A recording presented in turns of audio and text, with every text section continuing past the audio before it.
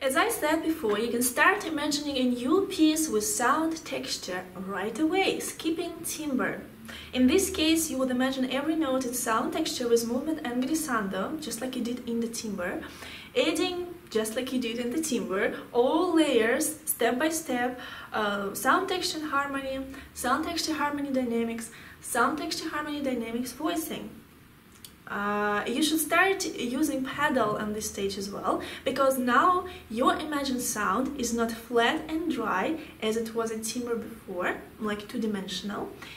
That's why now the pedal sound would reflect your three-dimensional sound in the texture of deep water. So hopefully you guys know that sound texture is when we imagine pitch of the note. Uh, no color, just the pitch of the note uh, in the water sound, just like you would play it with the pedal. This is your watering, watering vibrations, and that let you, uh, that let us go down to the sound. That's why we call it three-dimensional. So imagine, and then we go down, like we're going down deep in the water, without any resistance though, just down through the water. So that's why we basically imagine every sound with a pedal, let's say, with a pedal and down uh, through the depth of the water. That's why you can use pedal because now it's basically in your imagination. Um, okay, so the first step, imagine every note in sound, texture, with movement and glissando. Okay, then play both hands with intonation and articulations. Also clear. And uh, this is little order, how you need to do. You gather weight, you lift up your hands while imagining first note in sound texture, and then you start playing uh, with intonation and articulations. So I repeat it one more time. The order is very important, otherwise you will lose some uh, mm, chains in the... Ah, I forgot this word, but you understand. So, you gather weight, you lift up your hands while lifting up, you just imagine the first note and that will already bring you to the sound world and then you start playing. And you intonate everything only That's what you do.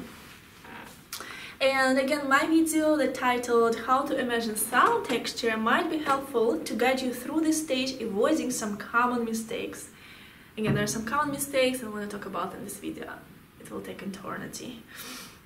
Okay, maybe not eternity. Watch that video.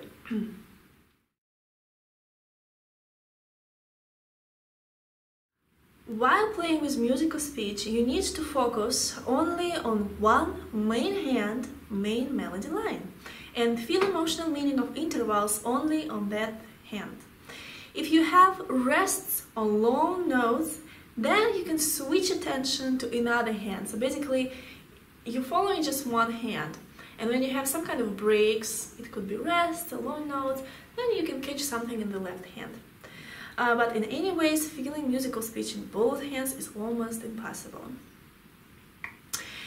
Uh, so you're gonna play again very slow. Let's say focusing just on the right hand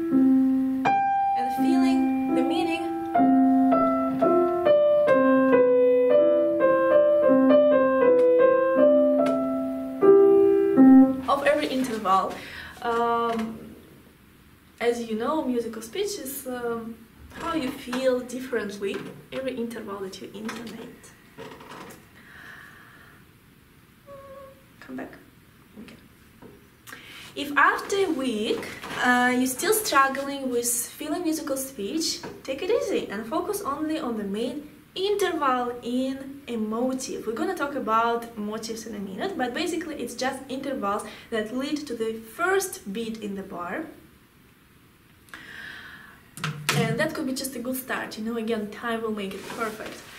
So if it's hard for you to imagine and feel every single interval in the right hand after you practicing the whole week, then just skip it. And um, let's say you have this bar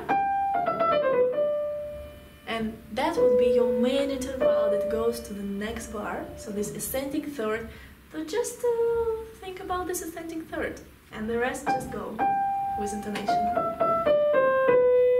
but at least one interval in a bar you should fill with musical speech. That's the point. So start with singing out loud as it will help to feel musical speech between notes uh, more vividly. Um, you can again, you know, everything you want to feel better, you have to sing out loud because um, that will make all the sensations much brighter in your body. So again, the very first line you could sing.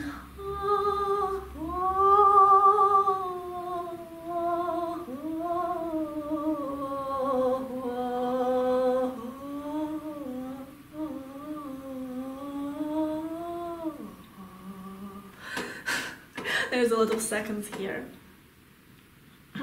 so uh, this is the first step. Second, play with both hands while imagining sound texture, harmony, dynamics, voicing with movement, and intoning with articulations, every interval with musical speech.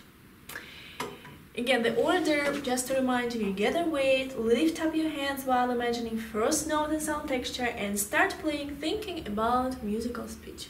That's what he do.